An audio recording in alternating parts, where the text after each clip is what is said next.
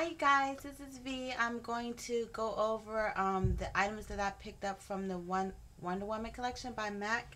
Um, happy Saturday! I don't have any makeup on and my hair isn't did or anything, so but um, I just wanted to get this up right quick because I haven't done a video in like forever and the first item I purchased and was really excited about, um, I picked it up um, Tuesday at their pre-launch event and is this is the packaging I mean, if any little girl ever grew up in like the late 70s, early 80s, loves Wonder Woman. I used to love Wonder Woman, play Wonder Woman with like pew pew, with um the hula hoop and stuff. So, and the baton. So anyway, this is Mighty Aphrodite, the powder blush.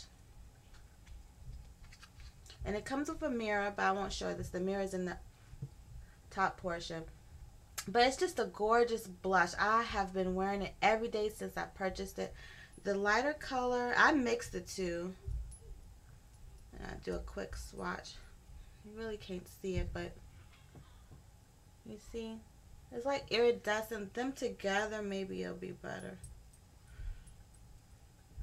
Yeah.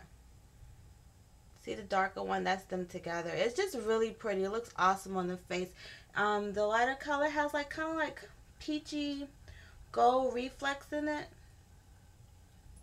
I'm going to just keep doing it.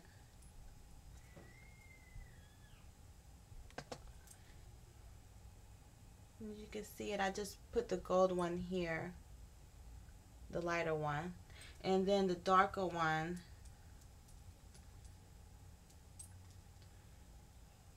right there. So, oops, sorry. There you go, right there. So it's just it's just pretty. I love it. Um, it's not really doing it justice on camera, but it's gorgeous. And that was, hmm. I'm thinking it's like thirty dollars. Mm, excuse me, twenty dollars or something. I'm not sure, but um, probably twenty four. I don't know what the price tag on it, but this is it is on it's on the MAC's website.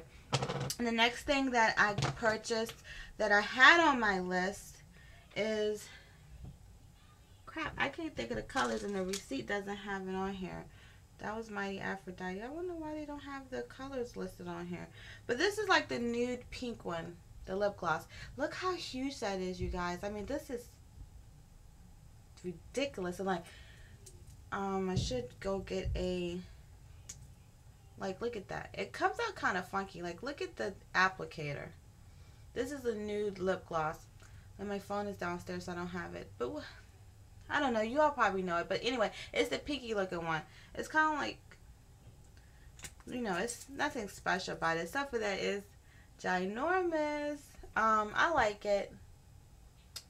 It's like a pinky. Let me see you can see no you can't really tell but my it's raining here today so but anyway okay it's that. i'm gonna show you the okay this is emancipation. I thought about the name of it. Okay this is the tube for the wonder woman wonder woman collection and this is the normal tube. Oh my gosh look at that. Isn't that ridiculous? Like look how huge it is.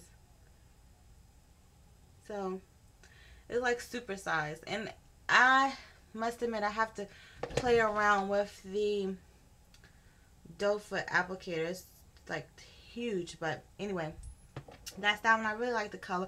I mean, it's like really it's not that much difference between the go to the um easy lounger from the to the beach collection. I don't think it's just that the to the beach collection, uh, excuse me, to the beach collection one has more glitter in it. So I like it. Yeah, emancipation. It is on there. Sticker is on there, but I just can't see it in this horrible lighting. And then the lip gloss, which lipstick, I didn't have any intention on buying this one, but I bought it um, when I saw it on the um, MAC um, girl. And this um, Marquise D. Marquise I don't know, whatever. It's pretty. Um, do a quick swatch. It's really pretty pink, pinkish nude. I like it. It really it reminds me of the same lipstick that I was in love with from the To the Beach collection. But of course, I can't think of that name of that one either. But um, X that. It doesn't look like Lazy Day. The But anyway, one. um, I like it. So, and then the thing that I totally did not have on my list, like look at that, the packaging is so awesome. I think I might save that. I don't know. I usually don't, but is the blue mascara. It's really pretty. And I think I don't know. It might be sold out. I don't know. They they said at the Mac store that everybody was calling to. I don't want to open it because you know the shelf life on mascara is so small, but it's um really pretty. Opulash um formula, and I'll just open it. Who cares? And that's the blue. Isn't that pretty? Can you see? Ooh. I like it. It's totally different for me because I just use black, very black, or the Ultra's black, carbon black, whatever black.